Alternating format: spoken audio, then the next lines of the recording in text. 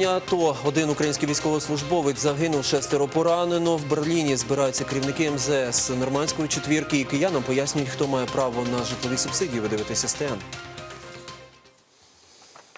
Сьогодні минає рік, як Україна розпочала антитерористичну операцію на Донбасі. За цей час українська армія стала однією з найпотужніших у Європі. Про це заявив речник адміністрації президента з питань АТО полковник Олександр Мотузяник.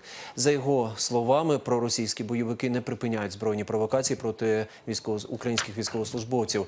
Протягом останньої доби вони застосували озброєння, яке заборонено мінськими домовленостями на Донецькому і Маріупольському напрямках. Зафіксовано 9 мінометних обстрілів позицій сил АТО та 8 випадків застосування артилерії. Бойовики також завдали 4 танкових удари за останню добу. Внаслідок бойових дій один український військовослужбовець загинув, ще шістьох було поранено. Сьогодні в Берліні зберуться міністри закордонних справ України, Німеччини, Франції та Росії, щоб обговорити подальше виконання мінських домовленостей та можливе введення миротворчих сил на Донбас. Тим часом голова комітету міністрів Ради Європи Дід'є Рейндерс заявив, що Пар'є не планує повертати Росії право голосу, доки не буде прогресу у виконанні мирних угод. Він зазначив, що позиція Пар'є щодо Росії навряд чи зміниться до кінця 2015 року. В районі Донецького аеропорту внаслідок обстрілу автомобіля загинув місцевий журналіст. Про це повідомив один з керівників української координаційної групи з контролю за припиненням вогню в Донецьку, полковник Андрій Ліщинський. З його слів, за даними різних джерел, у машині їхали двоє місцевих журналістів. За попередньою інформацією, в авто потрапила протитанкова керована ракета. Один журналіст загинув, інший вижив.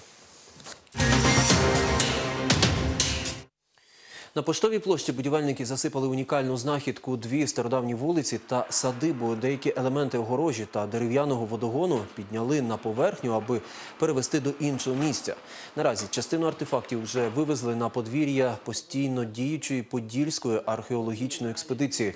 Історики зазначають, засипали пам'ятку землею, адже так вона краще збережеться до моменту створення музею.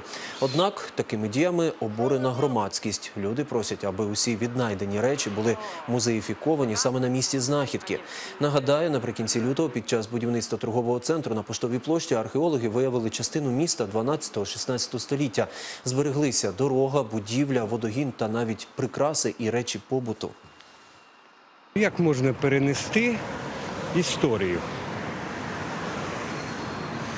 Її не можна переносити. Тож мені здається, що не може бути ніяких виправдань, чому вони руйнуються. возмущена просто этим всем процессом. Даже сразу достала телефон, чтобы фотографировать тут и в Раду куда-то там стучаться. Бланки заяви та декларації, необхідні для нарахування житлової субсидії, всі кияни отримають вже з квітневими платіжками. Цьогоріч скасовано усі обмеження щодо майнового стану. Це означає, що звернутись за субсидією зможуть власники кількох квартир та авто, ті, хто офіційно винаймає житло, і навіть безробітні, що не перебувають на обліку. Як розрахувати субсидію і заповнити документи самостійно, дізнавалась Наталя Сарданова. Пан Віталій його дружина, пенсіонери про житлову субсидію в управлінні соцзахисту запитують вперше. Кажуть, раніше якось і самі справлялись з оплатою компослуг. Але сьогоднішня платіжка для них значно поважчала. Прийшли з'ясувати, чи можуть зекономити надалі. Для нас особливо важливо було зрозуміти, за яких умов. Це ми зрозуміли.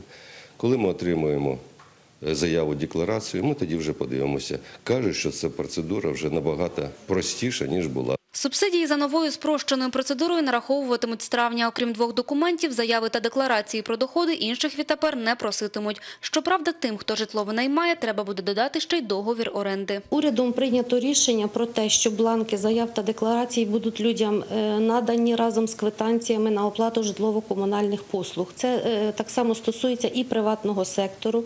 Їм довідки будуть надані газовою конторою.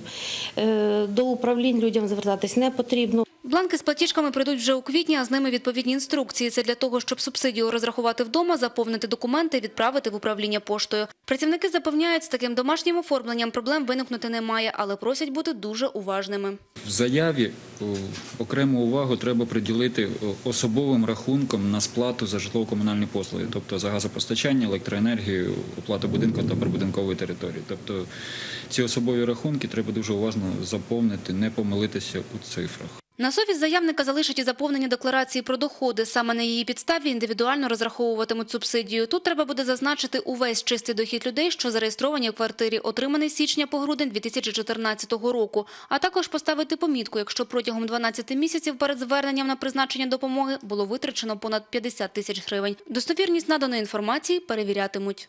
Якщо будуть скриті якісь доходи, не вказані зовсім, то людині потрібно буде повернути розмір субсидії в подвійному розмірі.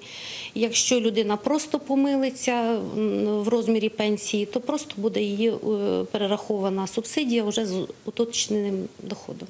Для того, щоб не помилитись в управліннях соцзахисту, завжди готові до телефонних та безпосередніх консультацій. До того ж, там обіцяють попрацювати над тим, аби відкрити філії відділу призначення субсидій навіть в ЖЕКах. Наталія Сарданова, Данило Городецький, телеканал Київ. В музеї народної архітектури в Пирогові святкують обливаний понеділок. Тут відтворили традиції, що досі існують на західній Україні. В понеділок, після Великодня, молодь обливається водою, висловлюючи так свою симпатію. Також організували ярмарок. Можна придбати зроблені майстринями писанки, поласувати медовим пряником. Весело тут і дорослим, і дітям. катається, вон там колесо є старе, вони там щось з ним роблять. Є шотобричка є. Он, мені подобається тут виставка завжди писанки є, різні картини, різні дзвоники. Сьогодні і наразі наша духовність і наші традиції, от вони е, дійсно стали більш природніми. Вони вже не, не вичитані, вони не, не книжні. Вони реально є потреба, потреба українця, української молоді, ну і старших нас тут багато. Після новин на телеканалі Київ громадська приймальня. Кого запросили, дізнаємось від Лейли Мамедової. Лейло, Христос Воскрес! Святом тебе! Воістину воскрес. Ростислава, дуже рада бачити тебе у прямому ефірі. Дякую, що передаєш нам слово. Ми продовжуємо працювати. І у нас у студії одразу після новин спорту буде депутат Київської міської ради. Ну що, поговоримо про наше з вами життя столичні, шановні кияни. Я сподіваюся, що до, нас ви активно долучитеся. Плідно буде розмова.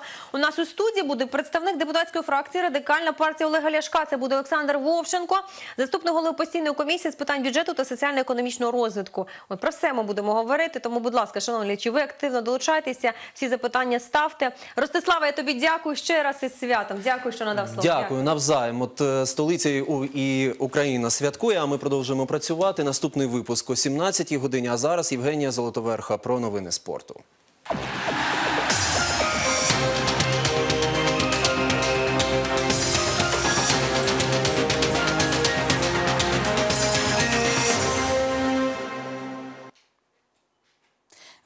Спортивні новини. Мої вітання. Сьогодні в українській футбольній прем'єр-лізі матчем у Львові між Карпатами і Ворсклою завершиться 19-й тур. У цьому поєдинку саме триває другий тайм. А от після першого рахунок був нульовим. Напередодні лідер чемпіонату Київське Динамо втратило очки. Підопічні Реброва не втримали переможного рахунку у матчі із Зорею 2-2. Після матчів 19-го туру відрив «Динамо» від «Шахтаря» скоротився на два очки нині становить 5 пунктів. У гірників буде шанс ще більше наблизитися до втікачів, адже 26 квітня у 21-му турі «Шахтар» зіграє з лідером очну зустріч у Львові. Але перед цим ще треба без втрат пройти 20-й тур. Баскетбольний клуб «Будівельник» продовжує підготовку до півфінальної серії плей-офф Української суперліги з Дніпром. Двотижнева пауза без офіційних матчів добігає свого логічного завершення. Вже у вівторок перший матч з Дніпром у Київському палаці спорту. Відчувається, що гренадери Віталія Чернія вже скучили за грою, але режим дворазових тренувань професійно витримують. Головний тренер відпрацьовує низку тактичних елементів та ігрових епізодів. Однією з найулюбленіших вправ гравців є змагання у парах, хто протягом 15 хвилин набере більше очків. Кошик не встигав приймати в себе помаранчеві м'ячі. На схожу результативність очікують прихильники будівельника у плей-офф. Две недели был это такой перерыв, и я думаю, надо будет нам немного, немного времени, чтобы опять почувствовать свою, знаете, форму. Все равно, когда без игр команды, немного это сказывается. Должен быть ритм, должны быть игры, и, знаете, когда две игры, например, в неделе есть, там, если с Еврокубками, это самое оптимальное, я думаю, для команды поддерживать ее физическую форму. Здесь не может быть э, ну, наверное, такой раскачки как таковой. И здесь нужно строго выполнить то, что мы на- наметили. Тем более соперника мы знаем, и они знают нас. Здесь, э, да, фактор неожиданности, что-то новое, что-то необычное, неординарное преподнести нужно сопернику. Да, это будет. Я очень хочу, чтобы э, было много зрителей на, на трибуне. Они нас вдохновляют, они нас э, э, помогают нам идти вперед. В одному зі столичних розважальних центрів відбувся чемпіонат України з черлідингу. Свою майстерність на змаганнях демонстрували переважно діти, але не обійшлося і без досвідчених команд. Так, майстер-клас для юного покоління провела найпопулярніша черлідер-група України Red Foxes. Мабуть, кожен пам'ятає хоча б один американський фільм, в якому чи то футболістів, чи бейсболістів під час матчу підтримує група запальних дівчат. В Україні більшість спортивних заходів відбуваються без подібних груп підтримки, проте культура черлідингу поступово набир- набирає популярності. Наприклад, на баскетбольних матчах дівчата-черлідерки присутні вже давно. Украина, э, в принципе, в классическом черлидинге, она только начинает развиваться. А, Здесь очень много детей, которые а, только начинают свой путь профессиональный. Черлидинг – это массовый спорт, э, как бы это не гимнастика. Здесь э, могут принимать участие как девочки, так и мальчики. И люди вне зависимости со своей, э, от своей физической подготовки. Це остання інформація у цьому випуску. До зустрічі.